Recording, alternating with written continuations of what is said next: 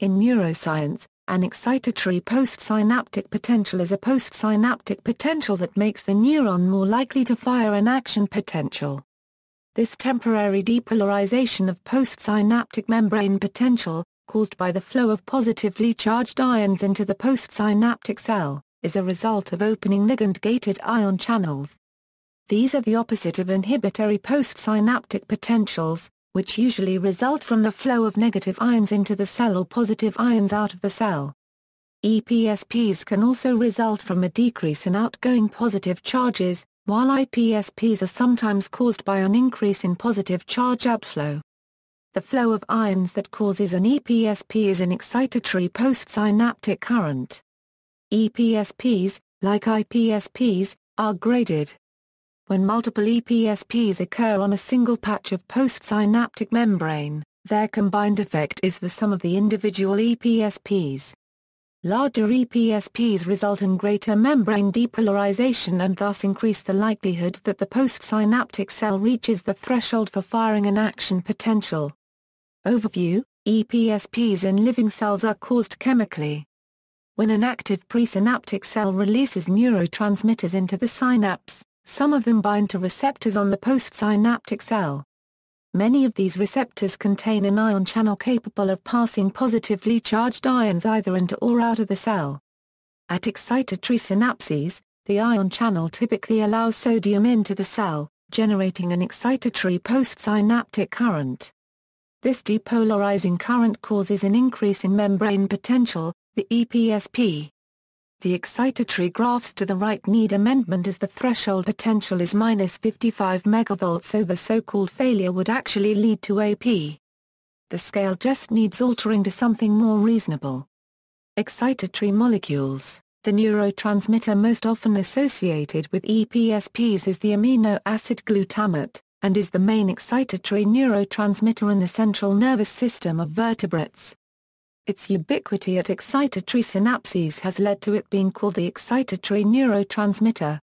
In some invertebrates, glutamate is the main excitatory transmitter at the neuromuscular junction.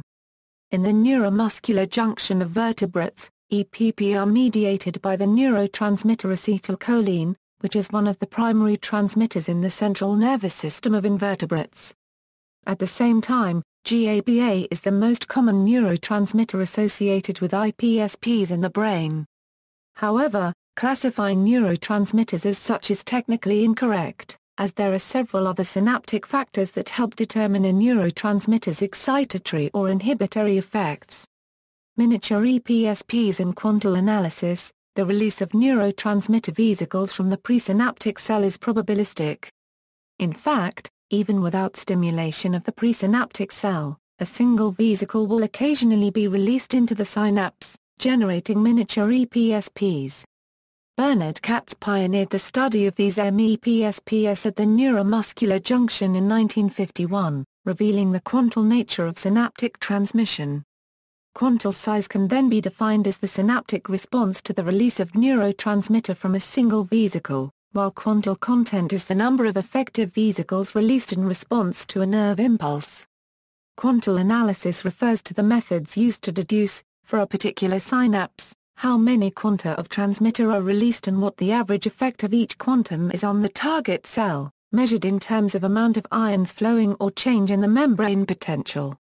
Field EPSPs EPSPs are usually recorded using intracellular electrodes, the extracellular signal from a single neuron is extremely small and thus next to impossible to record in the human brain. However, in some areas of the brain, such as the hippocampus, neurons are arranged in such a way that they all receive synaptic inputs in the same area.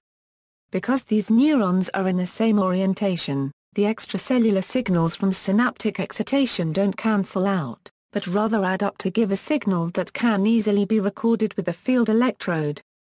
This extracellular signal recorded from a population of neurons is the field potential. In studies of hippocampal long-term potentiation, figures are often given showing the field EPSP in stratum radiatum of CA1 in response to Schaffer collateral stimulation. This is the signal seen by an extracellular electrode placed in the layer of apical dendrites of CA1 pyramidal neurons. The Schaffer collaterals make excitatory synapses onto these dendrites, and so when they are activated, there is a current sink in stratum radiatum, the field EPSP. The voltage deflection recorded during a field EPSP is negative going, while an intracellularly recorded EPSP is positive going. This difference is due to the relative flow of ions into the cell, which, in the case of the field EPSP is away from the electrode, while for an intracellular EPSPs it is towards the electrode. After a field EPSP, the extracellular electrode may record another change in electrical potential named the population spike which corresponds to the population of cells firing action potentials. In other regions than CA1 of the hippocampus, the field EPSP may be far more complex and harder to interpret as the source and sinks are far less defined. In regions such as the striatum, neurotransmitters such as dopamine, acetylcholine, GABA and others may also be released and further complicate the interpretation. See also, inhibitory postsynaptic potential, GABA, glycine, non-spiking neurons, postsynaptic potential. References External links, quantal transmission at neuromuscular synapses.